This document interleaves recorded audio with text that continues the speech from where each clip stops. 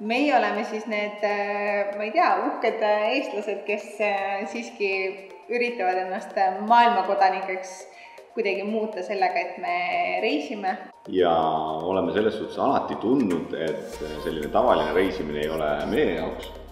ja niimoodi saigi siis meie reisimine alguse pärast Marianne keskkooli, kui ostsime ühe otsa pileti Andorra, majutuse leidsime Couchsurfingust ja korterikaaslaseks ei keegi muu kui üks sõbralik brasiillane, kellega me ainult mõned päevad varem kokku saime aga kõik see muutus meie jaoks väga suuresti täpselt aasta tagasi, ehk kui me saime siis sellise väikse rõngu otsas enda uued võtmed enda uuele kodule. Sellel hetkel, kui me selle kaubiku saime ja me selle esimese ukse avamise tegime, see tunne on lihtsalt nii veider, sest sa oled sellest nii pikalt unistanud, sa oled sellest nii pikalt rääkinud ja see moment on nüüd lõpuks siin, sa, sa võid selle oma väikese kodukesega teha mida iganes sinu hing ihaldab. hakkame pihta või? hakkame pihta ma mõtlesin sellel hetkel, et ma olen täiesti valmis seda kõike tegema, et ma olen valmis elama selles pisikeses tikutopsis, mis laseb vett läbi ja lekib, et ma olen valmis käest andma võimaluse omaenda WC-potile või omaenda dušinurgale ja siis ma sain ühel hetkel aru, et ma tegelikult ei tea, kas me olime päris valmis. Ja mitte ainult meile omane uudishimu ja püsimatus ei olnud need, mis seda lükkasid tegema, vaid ka kindlasti hirm, mis on tekkinud viimaste aastate jooksul siis materialismi ja kuhjuvate asjade ja kõige selle ees. Et me tahtsime tekitada endale olukorra, kus me elame selliselt, et me peame hakkama saama vaid eluks vajalike asjadega, et meil ei tekiks, vaadates meie oma koduruumi, soovi käia ja soetada midagi muud juurde. lihtsalt see, et sa tead, et sa tahad minna, sa teed endast kõik oleneva selle jaoks, et see kaubik saaks õigeks kuupäevaks valmis ja lihtsalt hakkad pihta. see ongi kõige olulisem selles suhtes meie kõige hirmsam mõte on see, et need seinad ja see põrand ja see kõik on mingisugust aastatega kogunenud jama täis. me kogu aeg mõtlesime, et kuna me tõesti ei oska ja me tõesti peame kogu aeg nõu küsima, et kas see tõesti ongi nii lihtne, me peame tegema midagi valesti, sellepärast et see tundubki veidike liiga-liiga kerge. mis me teeme? Lähme esimest korda Bauhofi inspiratsiooni ammutama ainult freaking meil juhtub sellist asja. ja sellest jookseb välja. kuidas ma peaksin seda sellega viima? tead, kui nõme, et me siuksed sitaadud oleme, kes nagu mitte millegagi hakkama ei saa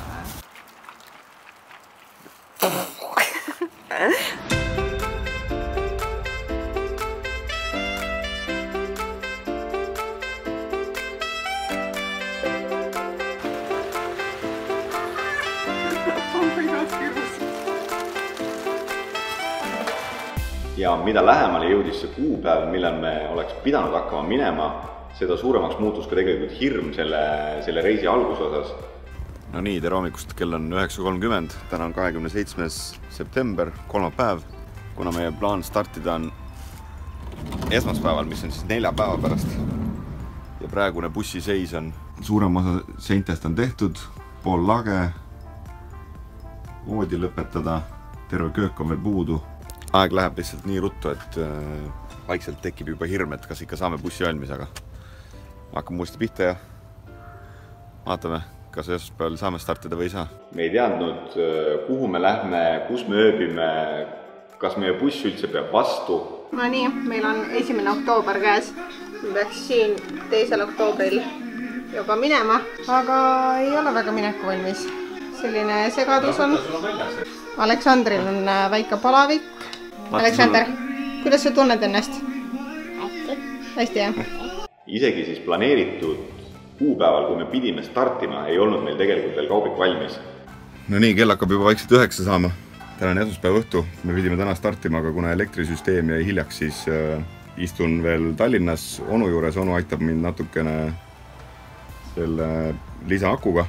see oli väga stressirohke, sest äh, me mõlemad olime närvis Aleksander otsis kogu aeg tähelepanu, et äh, temaga mängitaks ja me lihtsalt tundsime, et, äh, et ärme lähe täna, lähme hoopis homme. aga jällegi kümme minutit hiljem natukene tõmbasid hinge ja siis sa said aru, et ega see ju tegelikult paremaks ei lähe ja tuleb lihtsalt leida see julgus minna. Nonii, meil on äh, kolmas oktoober käes ja kell on neli. me oleme Aleksandri lõunanud nüüd pussinud, ma ei tea, kui pikalt ja meil on nüüd lõpuks koristatud, restid tühjad, seal on minu üks jope, mis läheb veel selga. ja minek.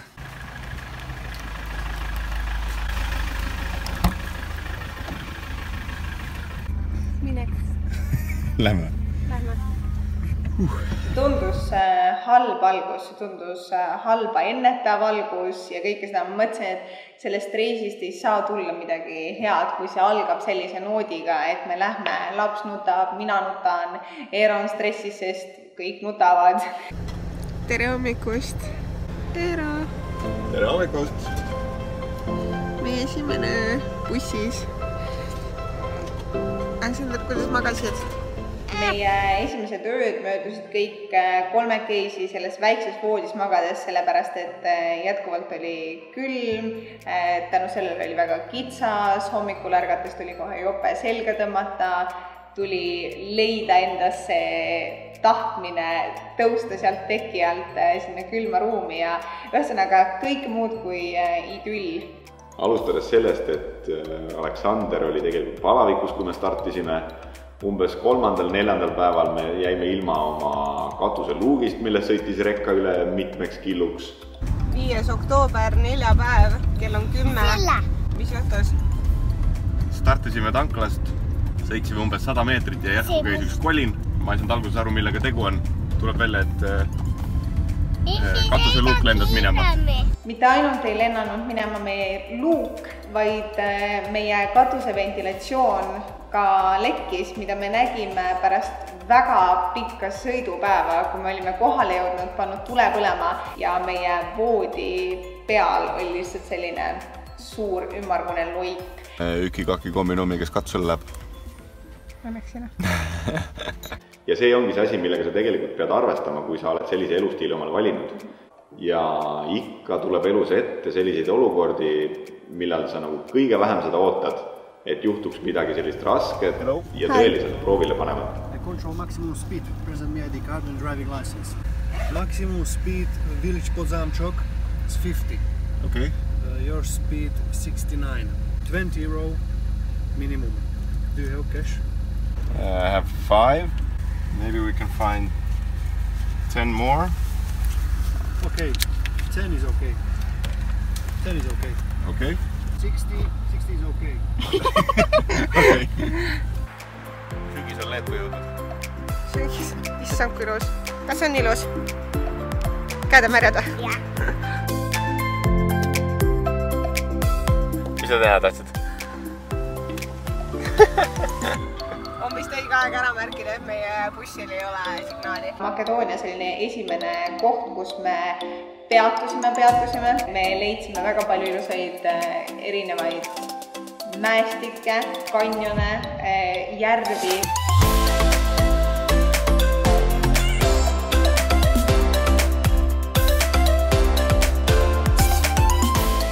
meie rada saab siis otsa lihtsalt sellise ristiga siia toovad sellised paadisõidud ka, aga see paat on, eks ju, sealpool, käivad seal üleval koopas, aga meie ei saa siis kuidagi sinnapoole.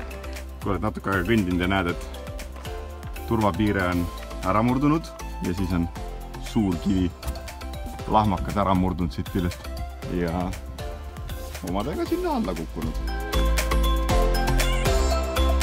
Makedoonia oli meie jaoks väga-väga-väga suur üllataja ja me nautisime tõesti igat oma sekundit selles äh, riigis.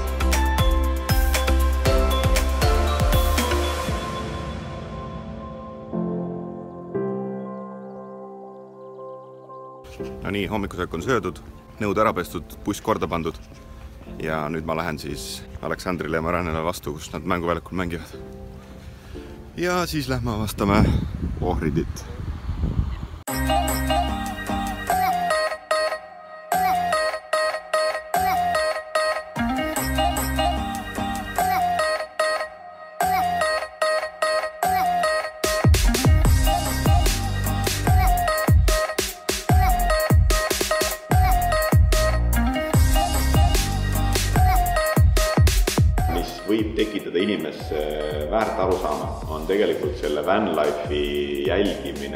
Instagramis või Youtube'is. see on väga erinev representatsioon sellest, milline tegelikult see elu igapäevaselt on.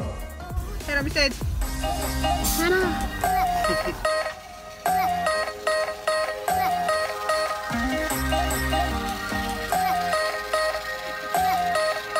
Neid Instagrami pilte vaadates sul tekib mulje, et oh, iga õhtu on päikeseloojang, loodus.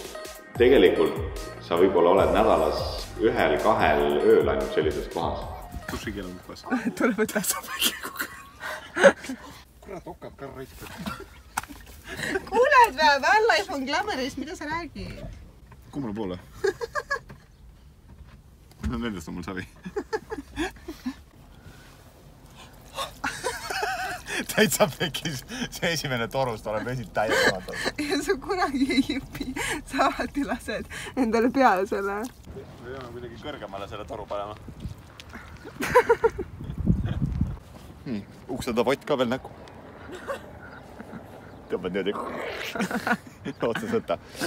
selle glamuurse elustiiliga käivad siis ka kaasas palju selliseid asju, mille peale sa kodus isegi ei mõtle, et see võiks olla sinu jaoks selline keeruline tegevus. et äh, sinna juurde kuuluvad kindlasti kõik pesupesemised, siit sisse. palun ütle, et ei ole fail. Sinna juurde kuuluvad äh, sellise vänni puhul kindlasti potipuhastused. Eero on selline imeline partner, kellega vanlife'i teha, sellepärast et äh, tal on äh, suhteliselt hea vastupanu kõigele siis sellele, millel minul ei ole. isegi nõude pesemine, kuna meil ei olnud kraani, meil ei olnud jooksvat vett, puhta vee leidmine, musta vee äravalamine, kõik, kõik, kõik, need käivad kõik erinevatest kohtadest, erinevatesse kohtadesse ja kõik see teadmine tuleb endale tee peal ammutada. aga sellega me ei taha öelda, et see ei ole väärt tegemist. Lähme nüüd äh, selle juurde, miks see on väärt tegemist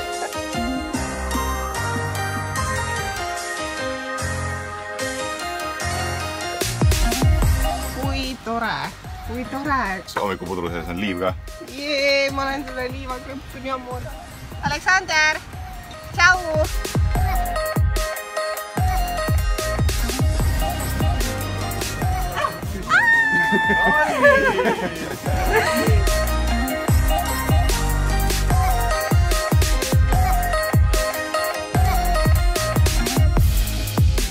Põhiline küsimus, mis kõikidel inimestel siiamaani on tekkinud, on ikkagi see, et kuidas me seda endale lubada saame. kust me saame raha, et olla pidevalt teel, reisida nii palju, kui me reisime ja me naljatades ei saa tegelikult aru sellest küsimusest, sest meie jaoks me ei tee midagi erilist. Me elame oma igapäevaelu, meie jaoks ei ole selles mõttes puhkus. kuidas maitseb?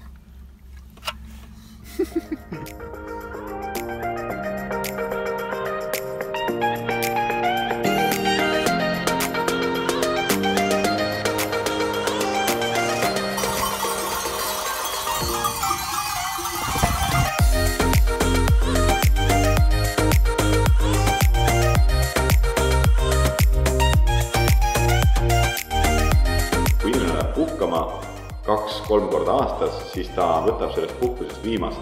aga meie jaoks on see meie elustiil ja kui me tahame sellist elustiili jätkata, siis me peamegi tegema teatud äh, järeleandmised, kompromissid muus osas, et sellist äh, elustiili omale lubada saada.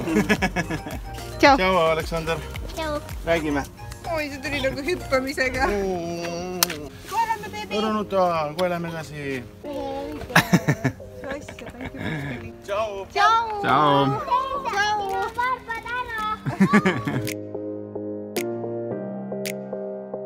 kuidas üldse siis alustada vanlife'iga või kuidas soetada endale oma igapäevaelu kõrvale selline kaubik, millega sa saaksid reisida, siis meie jaoks see loogiline vahetus oli siis sõiduauto kaubiku vastu. me müüsime ka Eero mootorratta kahjuks äh, maha, aga see oli järjekordne selline järeleandmine, mida tuli teha.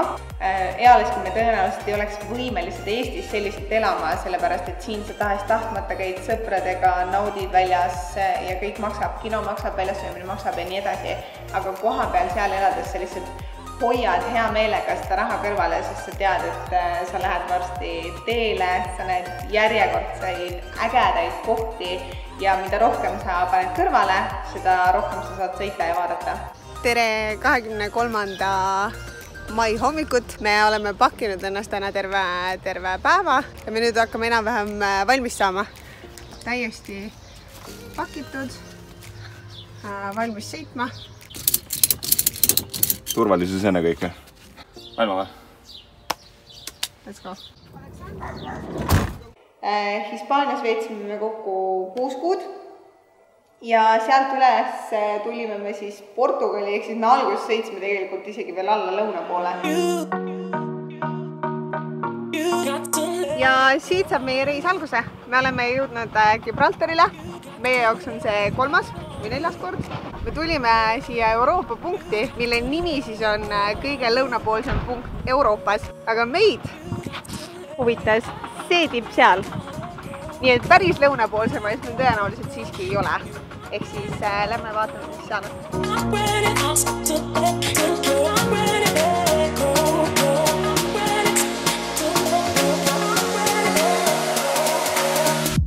Got to let it go.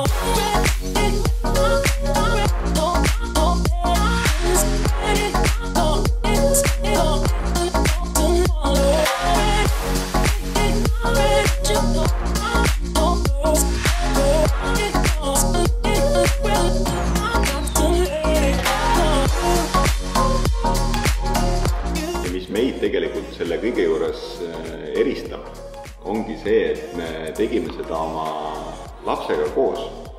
enamus teevad seda kas üksi või kahekesi, väga vähesed teevad seda lapsega. me olemegi teinud asju hoopis teises järjekorras alati.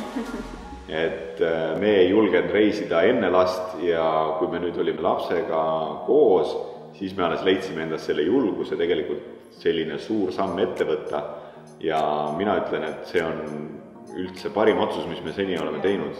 hästi palju küsisid ja kartsid ja tundsid muret tegelikult, et kuidas te nüüd ikkagi saate lapse lasteaiast ära võtta, sõprade juurest ära võtta, vanavanemate juurest ära võtta.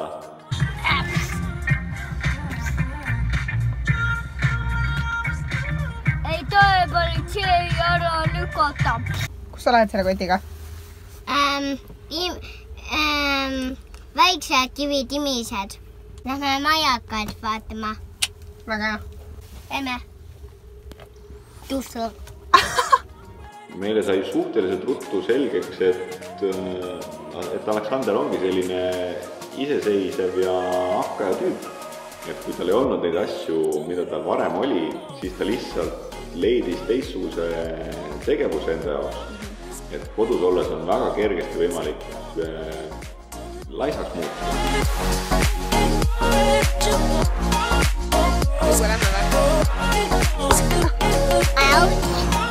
näita seda. ütle I Amsterdam. I am Santamaa. tubli! ma tahaks loota, et äh, lapsel on võimalik ennast selliselt vanematega koos olles palju rohkem väljendada, et tal on, et tal tekib see oskus äh, oma vanematega suhelda. palju õnne sulle!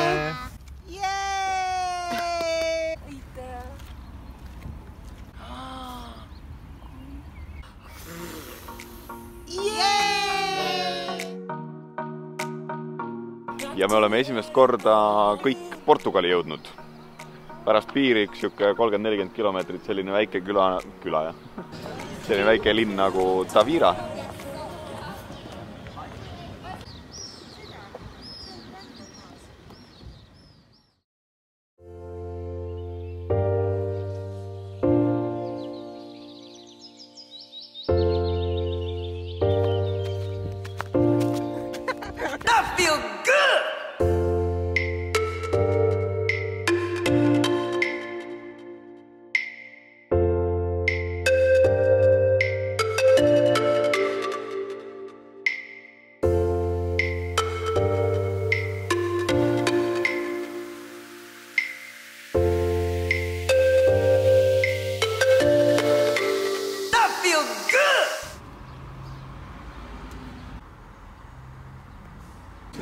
on kasutatud rehvid kaks tükki. nii, natukene teise mõõduga, aga need mahuvad alla ikkagi.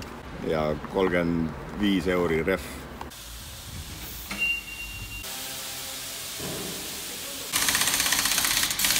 ma tean, et see vana rehv on väga kehvas seisus, aga lihtsalt meie nimekiri oli nii pikk enne Hispaaniast äraminemist, et äh, lihtsalt ei olnud meeles rehve vahetada tuli minu ema poest ja kõnnib, vaatas enda jalgu, vaatas, vaatas jalgu, tõstis pilku ja siis nägi hopsti ja ripub ja lihtsalt nagu ei ole kinni ja ripub.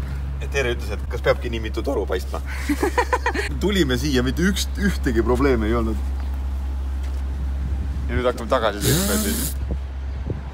tasa. nojah, noh.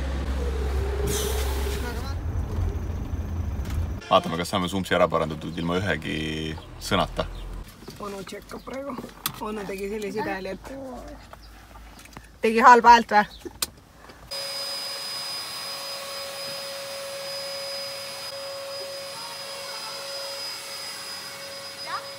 jah.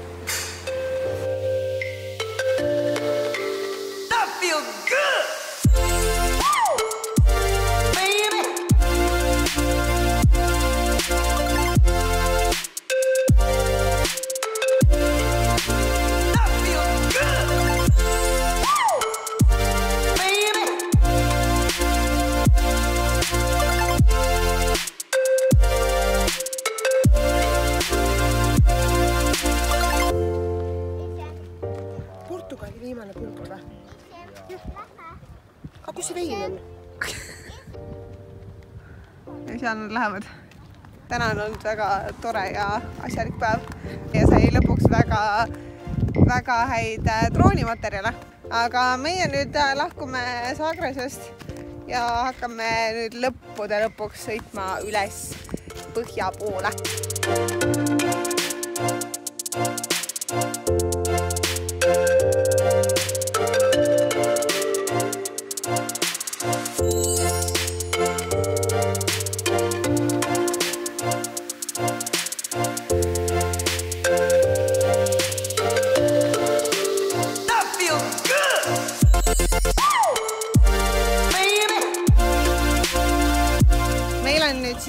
Käidud ka äh, Euroopa kõige läänepoolsem punkt, milleks on äh, Cabo de Roca, kus äh, me saime täielikku tormituult nautida praegu.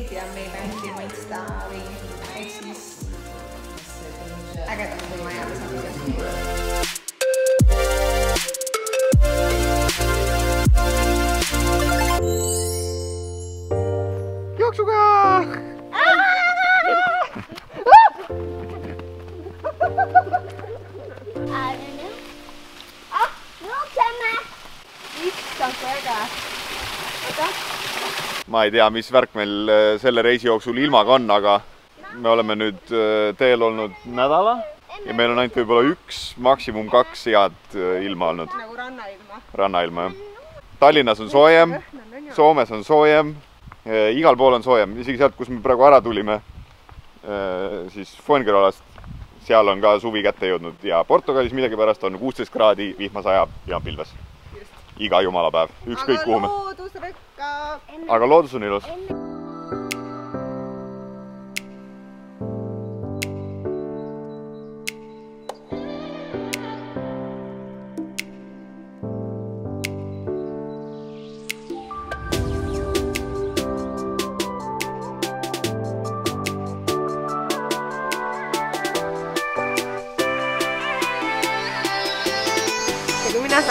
Enda sünnipäeval ärgata hommikul kell kuus ja minna termovannidesse, siis mina oleksin rahul. ma võin vabalt su kell kuus bussist välja lükata. väga hea.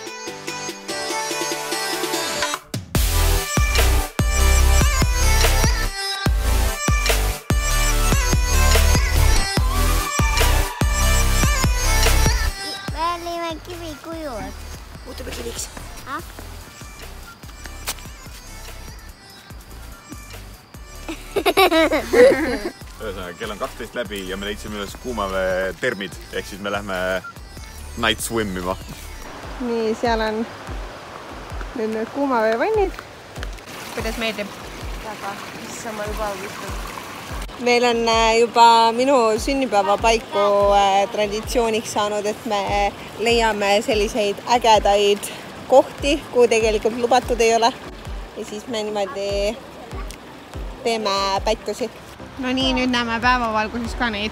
me ikka oleme harjunud tähtedega, auru tuleb, särki-värki, väga magical.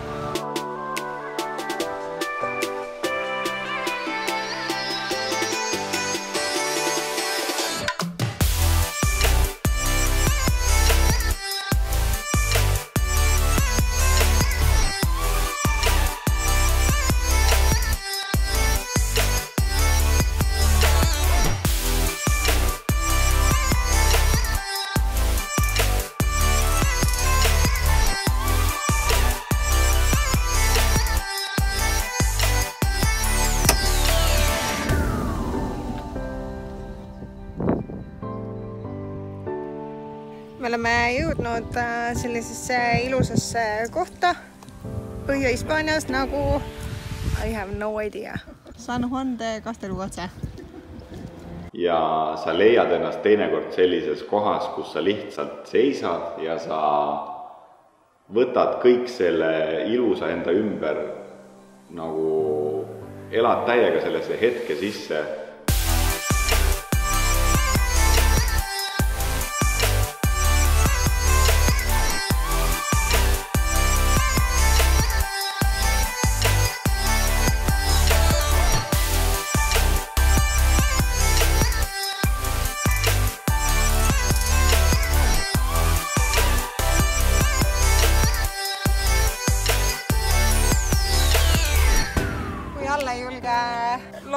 püsti minna.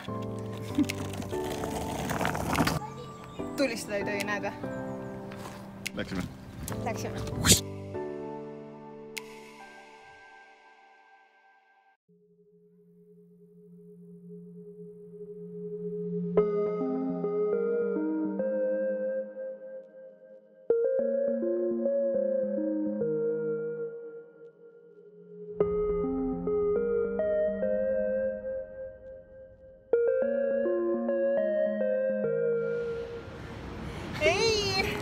Kuule, kakskümmend seitse. ei, ma olen sportlik noor naine.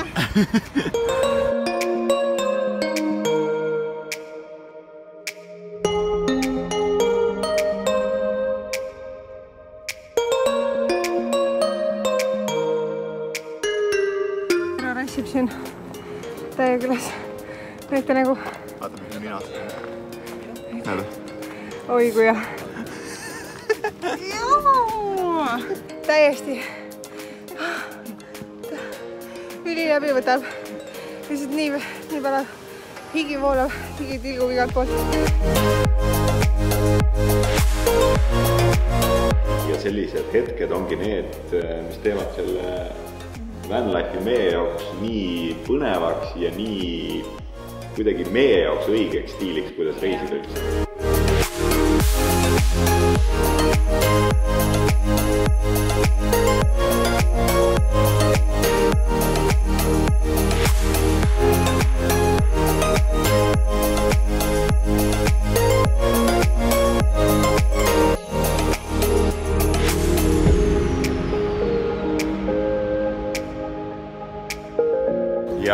Selleks aastaks meie Hispaaniaga kõik, et äh, viimane peatus enne Prantsusmaale üleminemist on San Sebastianis. näeme jälle tee peal, on ju. selle kaubikuelu juures, mis on ühest küljest nii positiivne, samas ka negatiivne, on see, et kuigi sa oled oma perest eemal, oma sõpradest eemal, leiad sa tee peal nii palju mõttekaaslasi. meid küll ühendas see, et me olime valinud selleks äh, meetodiks kaubiku, aga see lugu, mis meil kõigil oli rääkida, oli täiesti kardinaalselt erinev. kaubikus elajad on, ei ole keegi meile kunagi öelnud, et ma ei soovi sinuga rääkida, vaid kõik on väga uksed lahti ja räägime ja suhtleme ja jagame, jagame lugusid ja tahes-tahtmata lihtsalt, kui sa lähed tööle, siis see on üks selline keskkond, kus sul tekib väga palju uusi sõpru, uusi tuttavaid ja see oli meie jaoks lihtsalt, ma arvan, elupäästja, sellepärast et eh, see oli see üks koht, kus meil tekkis võimalus üksteisest puhata või üksteisest eh, saada vaheldust.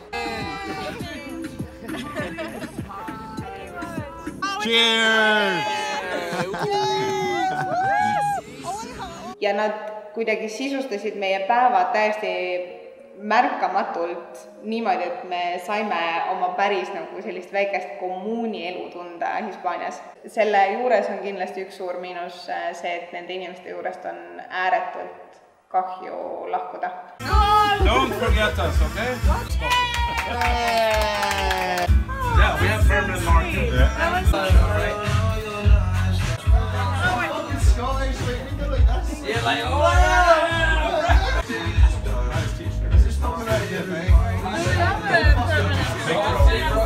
Eriti kui nad on sellised ägedad ja ekstravertsed inimesed nagu meie. tervitused Mantsise perele või? tervitused Mantsise perele. Yeah. Oh, that's... That's a good. Load for Loading, baby.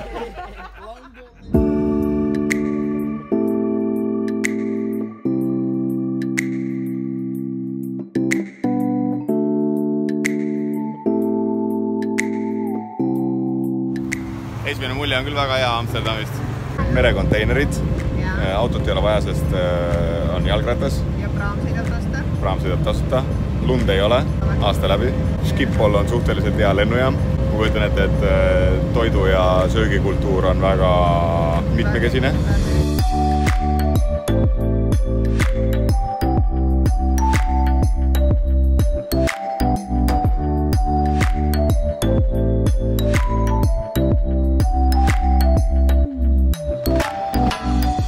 Kus me jõudsime?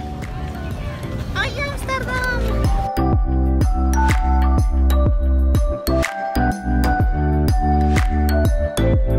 vaheta käiku, sa näed nii naljakas välja.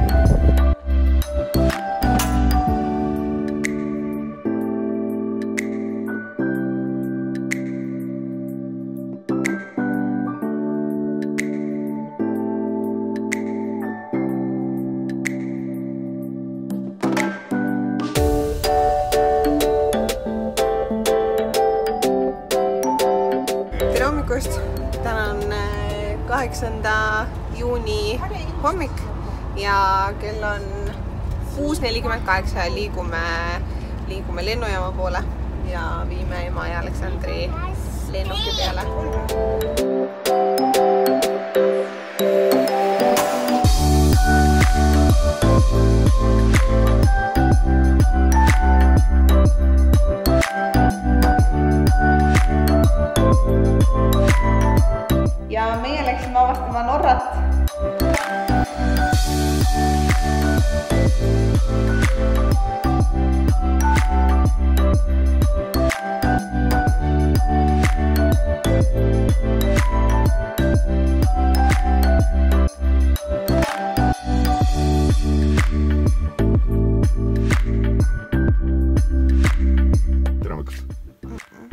tere hommikust! hommikust! tere hommikust! täna on täiesti imeline hommik, eile oli pikk sõidupäev, neliteist tundi ja nüüd me oleme siis oma esimesest punktist, kuhu me Norras tahame minna. täpselt saja neljateist kilomeetri kaugusel, meil kulub selleks kolm tundi.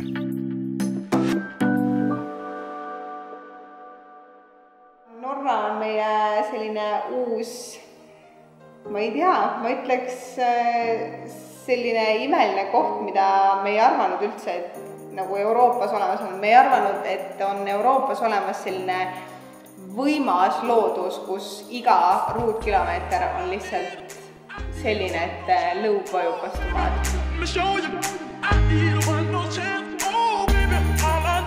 ma mõtlen kõikide nende hetkede peale, kus me seisime seal mägede tipus ja vaatasime alla, kus me seisime tä-, nende ebareaalsete ookeanilainete juures ja kus me nägime üliarmsaid linnasid, kus me nägime ülirahul olevaid inimesi.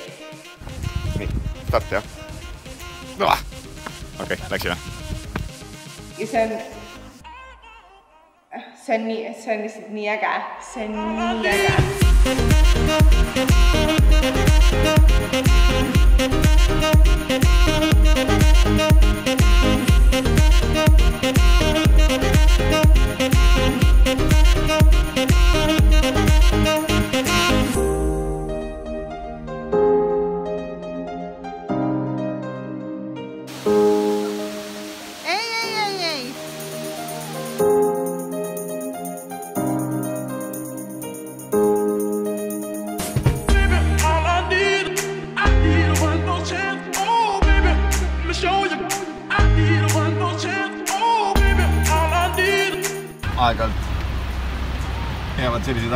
Tee peale ette.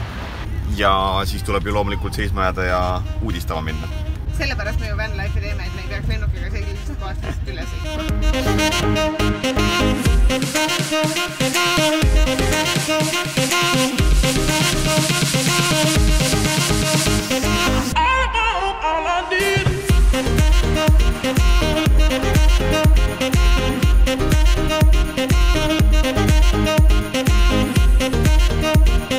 Mäletate seda Ace Ventura filmi või?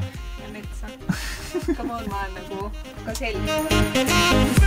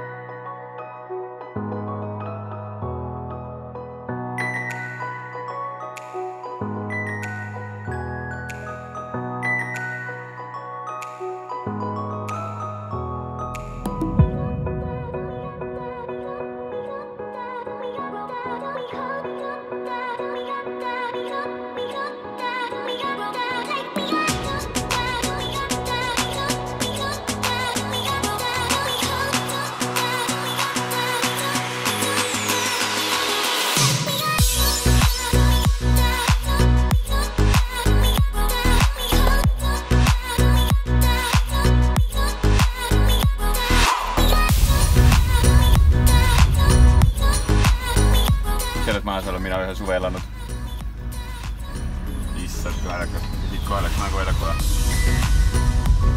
tere hommikust, käes on neljapäev, neljateistkümnes äkki või? me oleme omadega Soomes ja nüüd liigume vaikselt juba kodu poole.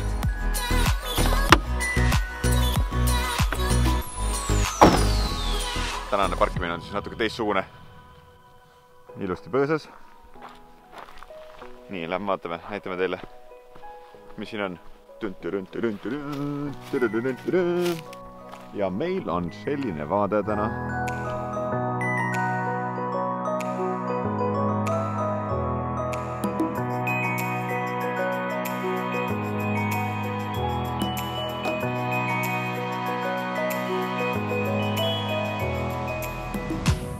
kaubikuelu on ainuke koht, kus sa saad sellist asja kogeda.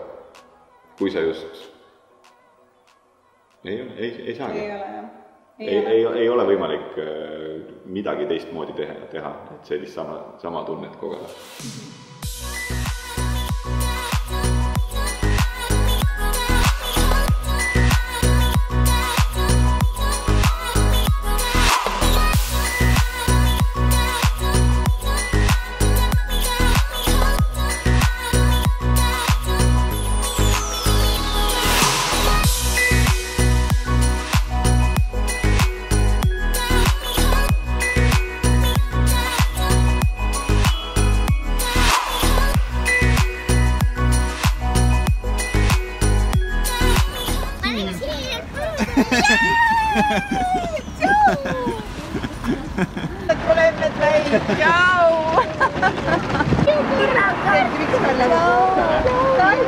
Kaardistame! tšekime habe.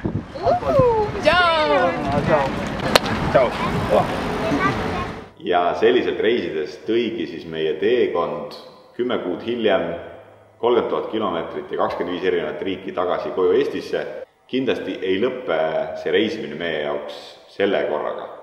küll aga me peame kahjuks oma kaubiku jätma sinnapaika ja suunduma lennukisse. me tahame käia võimalikult paljudes riikides, enne kui ühel hetkel on aeg tagasi koju tulla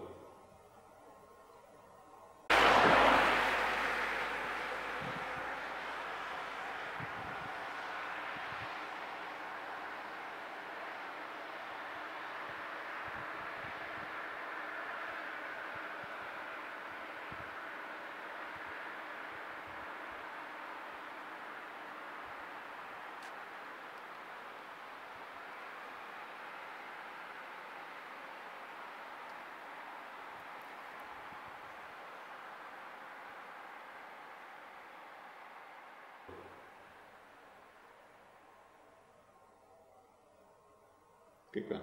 ma ei tea, nii armas. sest niisugust setup'i me rohkem ei tee. jep. silmad nii punased. ma ei tea. kaubikus elades jah, raha, söök, sõitmine, reisimine. Elu kaubikus mis see veel on? kaubikus elamisest on nii kaua möödas, et ei mäletagi enam, kuidas see elu käis. mäletan küll. kõik või? purgis, purgis või? purgis. on või? ei, ma ei julge, sest mul on siuke tunne, et see on see, kui ma praegu selle teen, siis on purgis päriselt. on või? purgis, purgis. purgis. Oh my god. järgmiste tegudeni. Oh lord. Oh lord. Let this movie be good. I hope so. It better be. It's going to be a shit show. Oh my god. okay.. las aeg filmib praegu. tšau, sõbrad. nii, kellele film meeldis, comment down below kõik lingid on äh, all äh, description'is ja vajuta subscribe. vajuta subscribe ja siis on.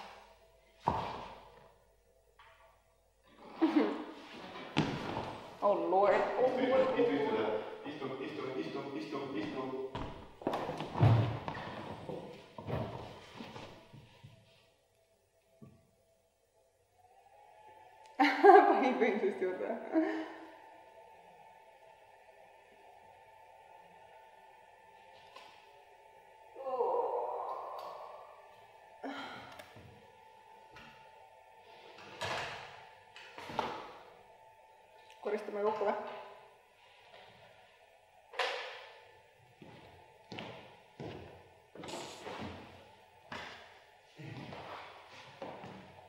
kõik või? kõik. kas teile meeldis või? meeldis või? ma täiega loodan, et meeldis. parem oleks, et meeldis. nagu parem oleks, et meeldis. sest äh, meile meeldis teha. Ma ei tea. jah, ikka meeldis jah? jah. loodame, et saame veel kunagi teha sellist asja. järgmist filmi tulete vaatama see on tegemises juba. nüüd tuleb kindel tuleme ikka. purgis. purgis. Davai, lähme koju. Jah? Bye. tšau, sõbrad.